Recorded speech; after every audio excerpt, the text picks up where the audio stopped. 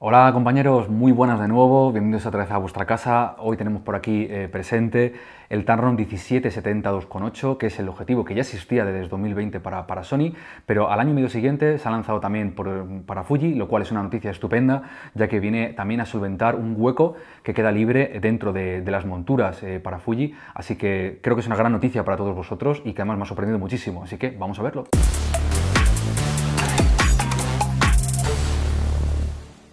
Todos aquellos usuarios de Sony ya estáis de enhorabuena porque habéis podido disfrutar de este objetivo durante más de un año y medio. Creo que ya, como ya sabéis, es un objetivo muy bueno, muy completo y viene a cubrir un hueco en Fuji muy interesante, ya que el 1655 se ha quedado un poco antiguo, un poco obsoleto y quizá ya le hace falta una renovación, además siendo un objetivo mucho más pesado, más tosco. Y este objetivo quizá eh, viene a dar un uso eh, muy completo a todos los fotógrafos, no solamente para aquellos que seáis entusiastas o semiprofesionales, sino también para aquellos que queráis utilizarlo a nivel profesional para cualquier boda, ya que me parece, por ejemplo, que el rango focal eh, al cambio en full frame es aproximadamente un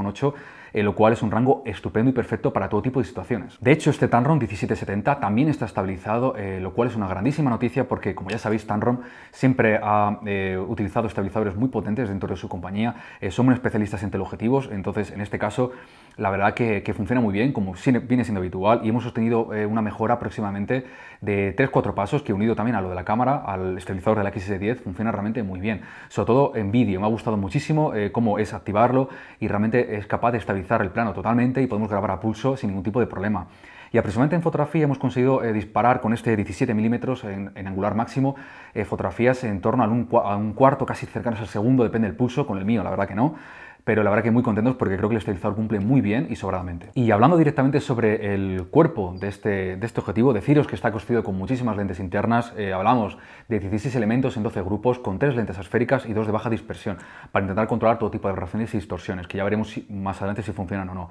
Eh, también deciros que este objetivo tiene nuevas pasas de diafragma, lo cual bueno, es muy, muy bueno para poder crear un desenfoque muy potente, que también además, como os puede comprobar, funciona muy bien. Además, también una grandísima noticia es que el objetivo es capaz de enfocar solamente 19 centímetros, lo cual eh, nos va también a mejorar mucho esa capacidad de crear un desenfoque bonito y un bokeh mucho más cremoso. Eh, la verdad que está muy bien conseguido teniendo en cuenta la longitud focal de este, de este objetivo. Y por supuesto también para rematar el conjunto, para completarlo, hablamos de un Tamron 1770 totalmente sellado, protegido contra la lluvia y el polvo, lo cual bueno, es un objetivo perfecto para viajar, además de la longitud focal, que tiene un, un rango perfecto, también por supuesto porque va a estar totalmente protegido y vamos a poder despreocuparnos en este sentido. Este Tamron está disponible aproximadamente por unos 800-850 euros, lo cual eh, hablamos de un objetivo que puede ser caro inicialmente para poder acceder a él, eh, pero sí que es cierto que creo que por todo el conjunto que ofrece es un precio muy interesante, ¿no? teniendo en cuenta que es un 2.8 muy útil y muy potente en todos los eh, rangos focales. Es decir, que esto también nos abre la puerta a todos aquellos que sois profesionales y queréis un objetivo eh, muy completo, lo cual bueno, es un precio que es algo elevado, pero que quizá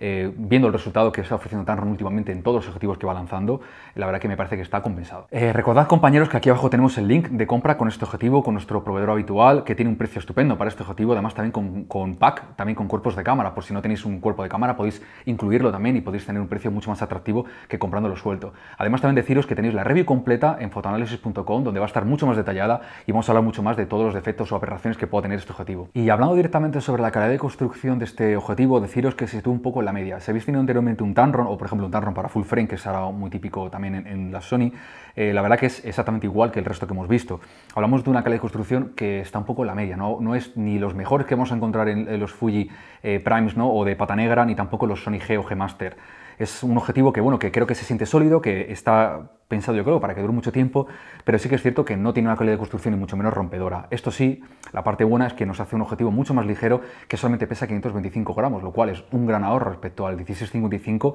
y por supuesto teniendo en cuenta la apertura que tiene este objetivo es bastante ligero. Además Tamron nos incluye un motor de enfoque RXD, como lo llaman ellos técnicamente, y la verdad que deciros que funciona muy bien con la XS10, al igual que el motor de enfoque, ya que es el mismo que la XT4, eh, y la verdad que no hemos perdido ningún tipo de foto, hemos hecho fotografías de street que funciona realmente eh, teniendo el foco casi la primera, no, no hemos tenido ningún defecto o algo que hayamos notado que funcione mal. La verdad que es rápido, es sobre todo muy silencioso, sobre todo para aquellos que estéis pensando en utilizarlo para tema de vídeo. Y además que creo que con un motor de enfoque de la XH2 va a funcionar un mejor. De hecho, me hubiera gustado mucho haberlo probado con este cuerpo, ya que también creo que va a quedar mucho más compensado. Y hablando directamente ¿no? sobre la calidad de imagen ¿no? que es capaz de ofrecer este 1770, deciros que bueno, todo esto va a estar mucho más extendido y más desarrollado en la review eh, digital, en la que vais a poder encontrar en la web. Y sí que deciros ¿no? que el objetivo bueno, pues tiene un viñeteo acusado en los dos pasos, el flare la verdad que se comporta bastante bien, eh, quedan bastantes búsquedas solares muy bonitas, no se zoomos a partir de F11, eh, no tiene una gran distorsión, la verdad, está muy bien corregido, y donde sí quizá es más un poco, el punto vil es un poco en las aberraciones cromáticas, que sobre todo en esquinas vamos a poder notarlas bastante a plena apertura, así que vamos a tener que cerrar aproximadamente unos dos pasos para poder evitarlas. Es quizá el punto más débil en cuanto a este objetivo respecto a la calidad de imagen. Además también deciros que el bokeh es bastante interesante, creo que funciona muy bien en cuando no tenemos luces traseras, es decir, algún tipo de luz que ilumine, típica luz navideña, eh, donde sí que pueda aparecer algún eh, círculo que no es del todo perfecto, quizá ojo de gato, a veces incluso alguna franja cortada, que no me termina de convencer, pero sí que es cierto que el, bokeh, cuando no se trata de luces traseras, eh, con bokeh estándar, la verdad que deciros que es muy cremoso, es bastante bonito la verdad que está muy bien logrado ¿no? para tener en cuenta que no es un objetivo propio de la marca. Y la nitidez, lo más importante, este objetivo es sin duda nítido. Es algo que se puede afirmar desde cualquier perspectiva posible. Eh, a 17 milímetros tenemos un objetivo con el centro muy bueno, casi diría que perfecto. Es bastante difícil poder eh, buscar algún tipo de pega porque también el contraste es muy fuerte y si vamos a esquinas, eh, la verdad que deciros que también me parece que es muy nítido y con un contraste bastante interesante. Quizás solamente F4 vamos a poder conseguir ese puntito extra ¿no? que nos mejore la foto, pero es aquí donde hemos encontrado un poco de aberraciones y quizá es algo más molesto, ¿no? Depende de qué foto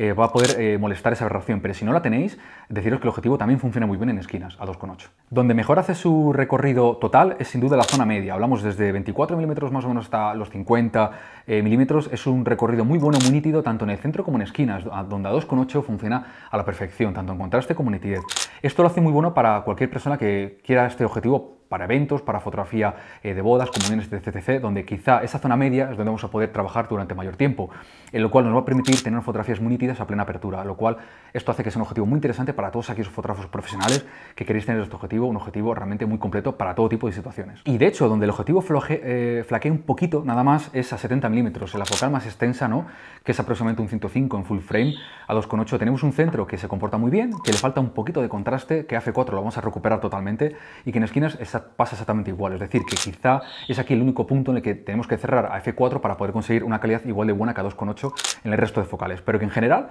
eh, también me parece que es muy útil, así que tampoco creo que sea necesario o obligatorio cerrar F4. Simplemente si queréis esa calidad extrema ¿no? o esa nitidez muy fuerte. Entonces, como conclusión y en términos generales, deciros que este 1770 de Tamron es un objetivo muy equilibrado, muy compensado y que creo que eh, tiene muy pocos fallos, ¿no? solamente quizá eh, destacaré el tema de las aberraciones cromáticas en esquinas y un poco a veces el bokeh con ciertas luces traseras, pero que no siempre aparece.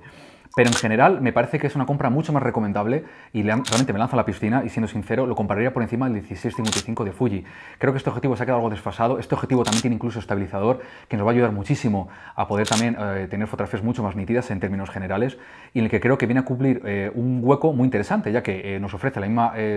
apertura 2,8 constante y tiene un poquito más de focal, lo cual creo que por un precio similar es mucho más interesante. Eh, por ejemplo, si sois usuarios de, Sony, sí que deciros que teniendo el Sony 1655 que tienen ellos de G, eh, sí que quizá me lanzaría por el Sony, es un objetivo más nuevo, eh, también potente, ha, salido después de, que el de Fuji y creo que es mucho más interesante o quizá tiene una rivalidad más fuerte con este Tamron. Pero en Fuji la verdad que me lanza a la piscina y os dirá que este objetivo mm, lo compraría por encima del 1655. Y nada, eh, amigos, muchísimas gracias por estar ahí detrás de cada vídeo. Tenéis aquí abajo, como siempre, el link en la descripción tanto de compra como de la review completa en la web. También tenéis en los comentarios para poder dejarnos cualquier tipo de duda o comentario que queréis realizar y por supuesto darle like al vídeo. Y nada, nos vemos en la siguiente, amigos. Hasta la próxima.